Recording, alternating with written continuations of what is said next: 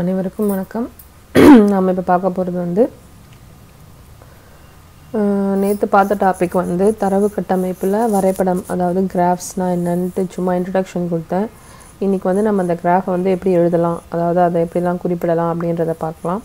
So மூணு விதமாக நம்ம வந்து இதை குறிப்பிடலாம். எப்படின்னா அட்ஜசன்சி மேட்ரிக்ஸ் இன்டி இன்சிடென்ஸ் மேட்ரிக்ஸ் அண்ட் நெக்ஸ்ட் வந்து அட்ஜசன்சி லிஸ்ட் ஸோ இந்த மூணு மெத்தடில் வந்து நம்ம அதை வந்து குறிப்பிடலாம்.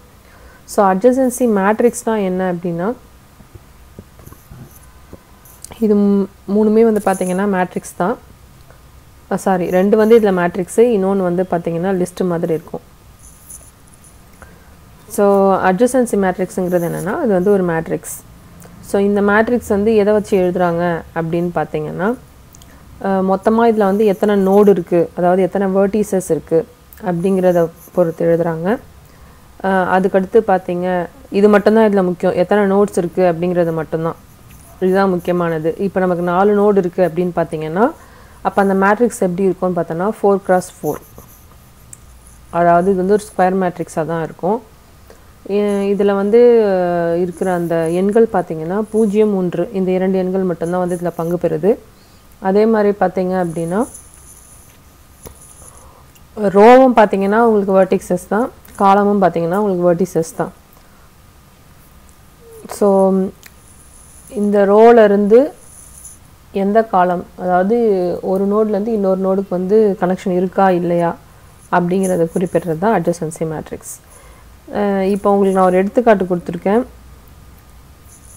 அஞ்சு நோடுகள் அதாவது ஃபைவ் வேர்டிசஸ் கொண்ட ஒரு அன்டைரக்டட் கிராஃப் அப்படி அதை வந்து கொடுத்துருக்கோம்.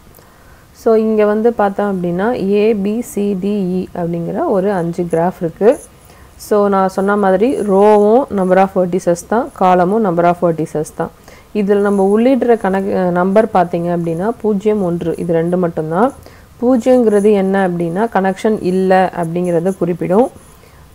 அதே மாதிரி ஒன்றுங்கிறது பார்த்தீங்க அப்படின்னா கனெக்ஷன் இருக்கிறத நமக்கு குறிப்பிடுது. இது அன்டைரக்டட் கிராஃபுங்கிறதுனால நமக்கு இது வந்து நம்ம ரெண்டு சைடும் எடுத்துக்கிறோம். அதாவது பை டைரக்ஷனல் கிராஃப்னு நம்ம எடுத்துக்கிறோம். ஸோ இங்கே வந்து நான் நம்பர் ஆஃப் வேர்டிசஸ் எழுதிடுறேன். இங்கேயும் எழுதிடுறேன். ஸோ இங்கே வந்து பார்த்திங்கன்னா ஏ ஏ டு ஏ கனெக்ஷன் இருக்கான்னு நம்ம பார்க்குறோம் ஏ டு ஏ கனெக்ஷன் இருக்கான்னு பார்த்தோன்னா எந்த லிங்க்குமே இல்லை. அதனால் பூஜ்ஜியம்னு எழுதுகிறோம் ஏ டு பி கனெக்ஷன் இருக்கான்னு பார்க்குறோம் ஏ டு பி வந்து நமக்கு வந்து லிங்க் இருக்குது அதாவது எட்ஜ் இருக்குது ஸோ எட்ஜை தான் வந்து நம்ம இங்கே ஒன்றுன்னு குறிப்பிடுறோம். இல்லாத எட்ஜை பூஜ்ஜியம்னு குறிப்பிடுறோம். So A to B edge இருக்குது அதனால் ஒன்று அதே மாதிரி ஏ டு சி பார்த்தீங்கனாலும் கனெக்ஷன் இருக்குது ஸோ ஒன்று ஏ டு டி பார்த்தாலும் கனெக்ஷன் இருக்குது ஒன்று நெக்ஸ்ட்டு ஏ டு e இக்கு பார்த்தோன்னா கனெக்ஷன் இல்லை. அதனால் பூஜ்ஜியம் எழுதியிருக்காங்க. அதே மாதிரி பி நோடு எடுத்துக்கிட்டிங்க அப்படின்னா பி டு ஏ வந்து கனெக்ஷன் இருக்குது ஸோ ஒன்று பி டு சி வந்து இல்லை. ஸோ பூஜ்ஜியம். சாரி பி டு பியும் இல்லை. பி டு பியும் இல்லை. எந்த லூப்புமே இல்லாதனால பூஜ்ஜியம். பி டு சியும் இல்லாதனால பூஜ்ஜியம். பி டு டிக்கு கனெக்ஷன் இருக்குது ஸோ ஒன்று நெக்ஸ்ட்டு பி டு இக்கு கனெக்ஷன் இருக்குது ஒன்று அதே மாதிரி சி நோடு எடுத்தீங்க அப்படின்னா சியிலேருந்து ஏக்கும் டிக்கும் மட்டும்தான் கனெக்ஷன் போகுது. ஸோ ஏக்கு ஒன்று போட்டிருக்காங்க டிக்கு ஒன்று போட்டிருக்காங்க. ரிமைனிங் எல்லாம் ஜீரோ டி பார்த்தீங்க அப்படின்னா டியிலேருந்து நமக்கு அஞ்சு கனெக்ஷன் போகுது. அதாவது ஏக்கு போகுது பிக்கு போகுது சிக்கு போகுது டிலேருந்து டிக்கே போகுது அதே மாதிரி டிலேருந்து ஈக்கு போகுது. ஸோ எல்லாமே வந்து பார்த்திங்கன்னா இதில் ஒன்று. அதே மாதிரி e இ பார்த்திங்கன்னா இலேருந்து பிக்கும் டிக்கும் மட்டும்தான் போகுது. ஸோ அது மட்டும் ஒன்று மிச்சம் எல்லாம் பூஜ்ஜியம். ஸோ அன்டைரக்டட் கிராஃப் அதாவது அட்ஜசன்சி மேட்ரிக்ஸ்னால் எப்படிங்கிறது உங்களுக்கு புரிஞ்சிருக்கும். அடுத்த டாப் இதே அட்ஜசன்சி மேட்ரிக்ஸு இது வந்து அன்டெரக்டட் கிராஃப் இதே வந்து டைரக்டட் கிராஃப் பார்க்குறோம். டைரக்டட்னா நமக்கு வந்து கனெக்ஷன் கொடுத்துருக்குறாங்க. அந்த கனெக்ஷன் வச்சு பார்க்குறோம். ஸோ ஏ பார்த்தீங்கன்னா ஏலேருந்து நமக்கு பிக்கும் சிக்கும் மட்டும்தான் போதும். ஸோ அது மட்டும்தான் ஒன்று எழுதியிருக்கோம். மிச்சம்லாம் ரிமைனிங் எல்லாம் ஜீரோ எழுதியிருக்கோம். இது வந்து நம்பர் ஆஃப் வெர்டிசஸ் ரோவாக எழுதுகிறோம் நம்பர் ஆஃப் வெர்டிசஸ் காலமாக எழுதுகிறோம் நெக்ஸ்ட்டு பி பார்த்தோன்னா பியிலேருந்து டிக்கும் ஈக்கும் e மட்டும்தான் போதும். ஸோ டிஇக்கு மட்டும் ஒன்று எழுதியிருக்கோம். சிலேருந்து பார்த்தீங்கன்னா டிக்கு மட்டும்தான் போதும் ஸோ டிக்கு மட்டும் ஒன்று எழுதியிருக்கோம் டி பார்த்தீங்கன்னா பிலேருந்து வருது சிலேருந்து வருது டிக்கே போதும் அதே மாதிரி டிலேருந்து ஏக்கு போதும் சாரி தப்பாக சொல்லிட்டேன். இதில் வந்து நம்ம இன்கமிங் கனெக்ஷன் வந்து எழுதலை. அவுட் கோயிங் கனெக்ஷன் தான் எழுதுகிறோம் ஸோ டியிலேருந்து ஏக்கு கனெக்ஷன் போகுது. அதனால் ஒன்று ஸோ டிலேருந்து டிகே வருது. அதுக்கு ஒன்று டிலேருந்து ஈக்கு e போகுது. அது எழுதுகிறோம் ஸோ இயில் e பார்த்தீங்கன்னா ரெண்டுமே இன்கமிங் தான் வருது. ஸோ வந்து இது வந்து அவுட் கோயிங் டிலேருந்து எதுக்குமே கனெக்ஷன் போகலை. அதனால் பூஜ்ஜியம்னு எழுதுகிறோம் ஓகேவா ஸோ அட்ஜசன்சி மேட்ரிக்ஸ்னால் என்னன்னு புரிஞ்சுதா? ஸோ இன்சிடென்ஸ் மேட்ரிக்ஸ்னால் என்ன அப்படின்னு பார்த்தீங்கன்னா இதில் ரோ வந்து பார்த்தோன்னா நமக்கு வேர்டெக்ஸஸ் வேர்டிசஸ் எடுத்துப்போம். காலம் பார்த்திங்கன்னா எட்ஜஸ் எடுத்துப்போம். எட்ஜஸ்னால் என்னென்னா கனெக்ஷன் இல்லையா? ஒரு வேர்டி ஒரு வேர்டெக்ஸ்லேருந்து இன்னொரு வேர்டெக்ஸ்க்கு ஒரு நோட்லேருந்து இன்னொரு நோடுக்கு போகிற கனெக்ஷனை தான் நம்ம வந்து என்ன சொல்கிறோன்னா எட்ஜுன்னு சொல்கிறோம் ஸோ இதில் பார்த்தோன்னா நமக்கு மூன்று எண்கள் பங்கு பெறும். பூஜ்ஜியம் ஒன்று மைனஸ் ஒன்று. இங்கே வந்து ஜீரோ வந்து எதை ரெப்ரசன்ட் பண்ணுதுன்னு பார்த்தீங்கன்னா எதோடையும் ரோ எட்ஜை வந்து காலமோட கனெக்ட் ஆகாமல் இருக்கிறது தான் வந்து ஜீரோ அதாவது ஜீரோ ஒன்று எல்லாமே சேம் தான். ஆனால் இங்கே மைனஸ் ஒன்றுன்னு ஒன்று புதுசாக இருக்குது. அது என்ன அப்படின்னு பார்த்தீங்கன்னா இன்கமிங் எட்ஜு இப்போ நம்ம போன எக்ஸாம்பிளில் பார்த்தோன்னா இதில் வர இன்கமிங் எட்ஜுக்கு வந்து நம்ம அதை வந்து எதுவுமே மென்ஷன் பண்ணல. ஜீரோனே மென்ஷன் பண்ணிட்டோம். ஆனால் இங்கே என்ன பண்ணுறோம்னா இன்கமிங் எட்ஜாக இருந்துச்சுன்னா மைனஸ் ஒன்றுனும் அவுட் கோயிங்காக இருந்ததுன்னா ஒன்றுன்னு நம்ம போட போகிறோம் இதுதான் இதில். ஸோ இதே மாதிரி அஞ்சு வேர்டெக்ஸ் இருக்கிற எழுதுகிறோம்.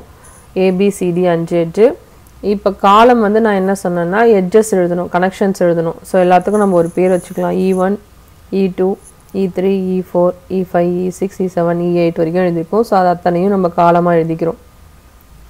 இப்போ நான் எழுதணும் நம்ம நம்பர் எழுதணும். ஃபஸ்ட்டு ஏ நோடு பார்க்குறோம். ஏ நோடில் பார்த்தீங்கன்னா ஏலேருந்து போகிற கனெக்ஷன் பார்த்தோன்னா இ e டூவும் இ e ஒன்னும் so E e one E டூக்கு ஒன் எழுதிட்டோம். நெக்ஸ்ட்டு இ த்ரீ பார்த்தீங்கன்னா இன்கமிங் ஏக்கு அதை வந்து மைனஸ் ஒன்றுன்னு எழுதுகிறோம் இன்கமிங் இருந்தால் மைனஸ் ஒன்று எழுதணும். மிச்சம் கனெக்ஷன் இல்லாத எல்லாத்துக்குமே பூஜ்ஜியம் எழுதுகிறோம் நெக்ஸ்ட்டு பி பார்க்குறோம் பியில் வந்து பார்த்திங்கன்னா E ஒன்னுங்கிறது incoming so minus one next E four E six இதுக்கு வந்து e இ ஃபோருக்கு ஒன்று இ e சிக்ஸுக்கு ஒன்று மிச்சம் எல்லாம் ஜீரோ அதே மாதிரி சிக்கு பார்த்தீங்கன்னா இன்கமிங் இ டூ இ டூக்கு மைனஸ் ஒன்று நெக்ஸ்ட்டு இ ஃபைவ் வந்து வெளியே போகுது. இ ஃபைவ்க்கு ஒன்று மிச்சம் எல்லாம் பூஜ்ஜியம். டிக்கு பார்த்தோம்னா இன்கமிங் பார்த்தீங்கன்னா E four E five E eight so E four minus one E five minus one ஓகேவா இது ரெண்டும் வந்து incoming so E e next வெளியில் போகிறது பார்க்குறோம் இதுலேருந்து வெளியில் போகிறது இ e த்ரீ அதே மாதிரி டிலேருந்து வெளியில் போகிறது இ e எயிட் ஸோ அதே இந்த மாதிரி லூப்பாக வந்ததுன்னா நம்ம வந்து அதை வெளியில் போகிற கனெக்ஷனாக தான் எடுத்துக்கிறோம். ஓகேவா வெளியில் போயிட்டு தான் மறுபடியும் அது உள்ளே வருது. அதனால் வெளியில் போகிற கனெக்ஷனாக எடுத்துக்கிறோம். இ எயிட்டுக்கும் ஒன் தான் எழுதுகிறோம் நம்ம.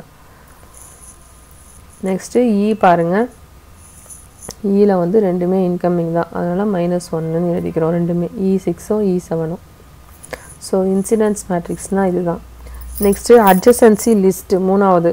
அட்ஜசன்சி லிஸ்ட்டுனால் என்ன பண்ணுறோம் அப்படின்னா ஒரு லிஸ்ட்டு மாதிரி க்ரியேட் பண்ணிடுறோம். ஜஸ்ட்டு ஓகேவா எல்லா வேர்டெக்ஸையும் வந்து என்ன சொல்கிறது லிங்க்டு லிஸ்ட்டாக நம்ம க்ரியேட் பண்ணுறோம் இப்போ இதுதான் வந்து அந்த கிராஃபு ஸோ லிங்க்டு லிஸ்ட்டாக க்ரியேட் பண்ணணும் அப்படின்னா ஏங்கிற நோடு எடுத்துக்கிறோம். ஏங்கிறனோடைய அட்ஜசன்சி லிஸ்ட்டு பார்த்தோன்னா பியும் சியும் அதனால் ஏ வந்து பியை பாயிண்ட் பண்ணுது பி வந்து சியை பாயிண்ட் பண்ணுது. அதை வந்து நல்லன்னு குறிச்சிடுறோம்.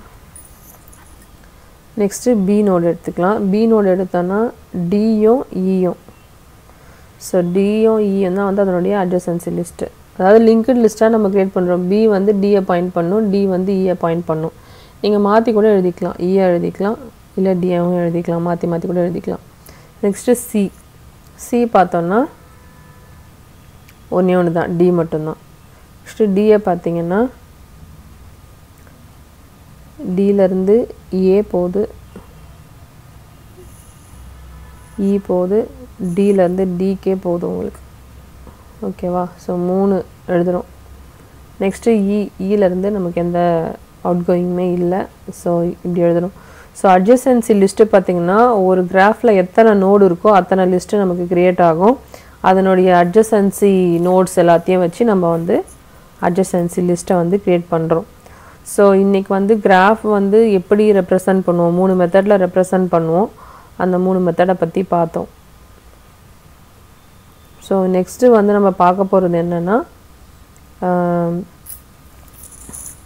சர்ச்சிங் அதாவது பிரெட்த்து ஃபஸ்ட்டு சர்ச்சு நெக்ஸ்ட்டு வந்து டெப்த்து ஃபஸ்ட்டு சர்ச் அதாவது டிஎஃப்எஸ் பிஎஃப்எஸ் ஸோ ரெண்டு டாபிக் இருக்குது அது ரெண்டுத்தையும் நம்ம பார்க்கலாம். நன்றி வணக்கம்.